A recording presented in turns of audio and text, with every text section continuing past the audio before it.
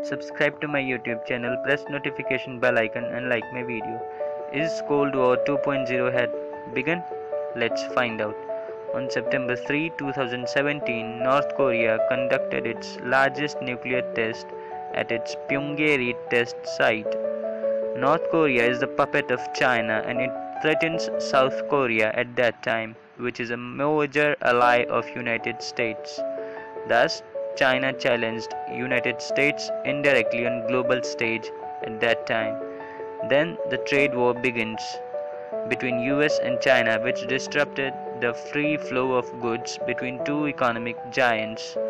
Then protest demanding democracy began in Hong Kong.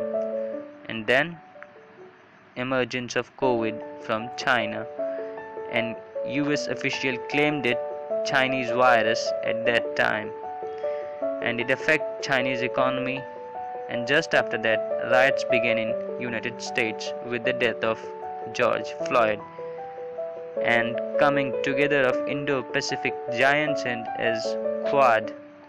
What all these incidents suggest is the quest for ultimate power and begins between USA and China. The game had begun and stage had set. Let's see what happens next.